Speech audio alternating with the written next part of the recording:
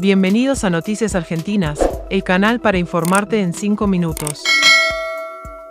Suscríbete a nuestro canal, es gratis y nos ayuda mucho.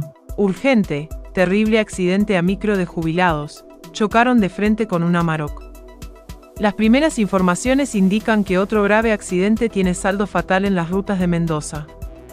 Esta vez, ocurrió en la ruta 153, la que une las Catitas con General Alvear. El hecho se dio en el kilómetro 43. La información sostiene que una camioneta Volkswagen Amarok y un colectivo de la empresa Sierra del Sol con pasajeros colisionaron, de frente, indicaron fuentes oficiales. A bordo del colectivo iban jubilados del Centro de Jubilados de Guaymallén, con destino a Mar del Plata. Los primeros datos indican que la camioneta se habría cruzado de carril.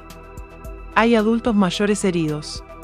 La información señala, que se hizo presente el helicóptero oficial para el traslado de heridos, y fuentes en Alvear indicaron que ingresaron desesperados llamados solicitando ambulancias. Alvear es la ciudad más cercana al accidente. Pasajeros del colectivo destacaron la gran maniobra del chofer del colectivo que evitó que el gigantesco rodado volcara al costado de la ruta. Producto del gravísimo choque, el conductor de la camioneta quedó atrapado en el interior del habitáculo y falleció. Trabajan a fin de evacuar de la cabina al conductor del colectivo que, también habría quedado atrapado, precisaron fuentes del Ministerio de Seguridad.